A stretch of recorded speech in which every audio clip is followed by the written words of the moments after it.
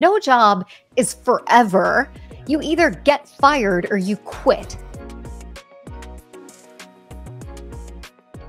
And when you're talking about giving 110%, which I completely agree, and I think that focusing on doing the best work possible is a critical part of this. Yeah. But it can sometimes feel at odds with a lot of the conversations that we're having about self care and trying to avoid burnout. So, my question to you is how would you suggest an individual both work towards having as much of an impact as possible and doing their best work mm-hmm. while also taking care of themselves so that they can continue to move forward. Nobody works 110% of the time, 110% of the time. And I think that's a really important distinction to make.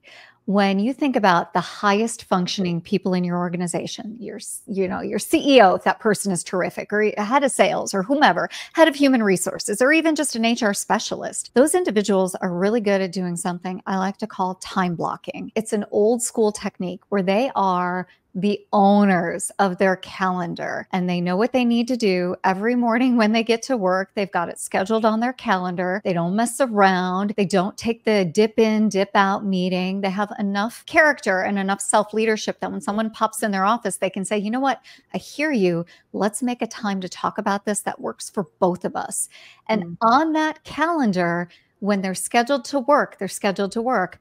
But when they're not scheduled to work, they're doing the things that give them joy. They're doing the things that fill their buckets. So whether that's, you know, exercising, taking walks, making sure they're going to, you know, individual appointments for their family members, doing the caregiving they need to do for others and for themselves. When they work, they work, and when they don't, they don't. And they let the chips fall where they may because they know they're doing a really great job. This is something that was taught to me many, many years ago by amazing leaders who said, I'm here when I'm here, I'm doing the best that I can, and I'm going to trust that I'm not going to get fired for doing my very best work. And you know what? They didn't get fired, and neither did I.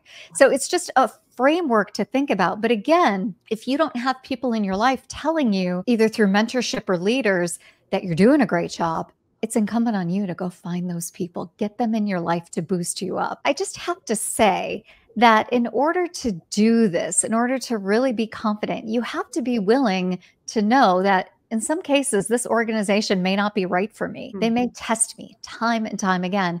And guess what? If you're doing amazing work, you're going to have opportunities outside that organization. No job is forever. You either get fired or you quit. That's the nature of work. So if you're at a place that is testing your boundaries and burning you out, guess what? It's time to go. Maybe not today, maybe not tomorrow, but it's time to work on that plan. This is capitalism. You are the CEO of your own lives. So if you're getting tested, and it's exhausting and you're eating breakfast from your toddler's plate every morning, there is no way you can be fueled to do great work physically or cognitively. It's time to get a new job sorry, Karina. That's just how it is. I have to say, I feel a little personally attached to the whole eating eating my toddler's breakfast thing because were you in my kitchen this morning? I know it happens, but it can't happen every day. It cannot no. happen every day. You cannot sustain yourself mentally or physically. You won't have enough energy. And nobody can make that choice to eat a better breakfast or to, to move or to think or to sleep. Nobody can do that except for you, not your boss. Boss is not going to come in and say, you know what? Think you need a few more hours of sleep and mm. actually carve out that space.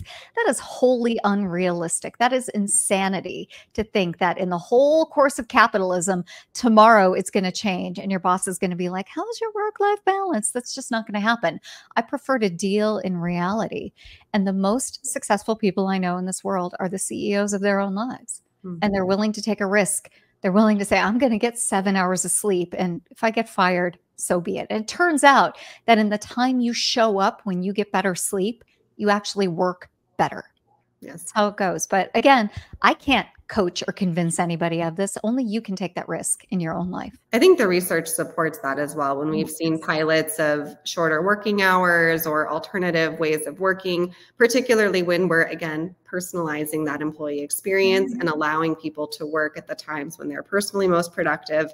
Obviously, this isn't an option in every industry. This isn't always something that can be done, but where it can, learning how to work with that individual and giving them the opportunity to have that ownership over their work lives has been proven time and again to result in greater outcomes, not only for the individual, but also for the organization, and certainly improvements in retention and engagement and all of these critical areas that we know business leaders are looking at. Really well said. And I think your point about how people may not have control is a good one. There are a lot of people who work at rigorous paces and with rigorous schedules and they may feel more constrained.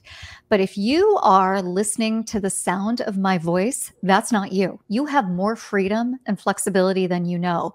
We all have privilege. We all have opportunities that are given to us because we're naturally talented or for whatever reason. And if you have even a drip of privilege, you have a responsibility to be brave for yourself. And guess what? When you are brave for yourself, you are modeling behaviors for others within the sound of your voice.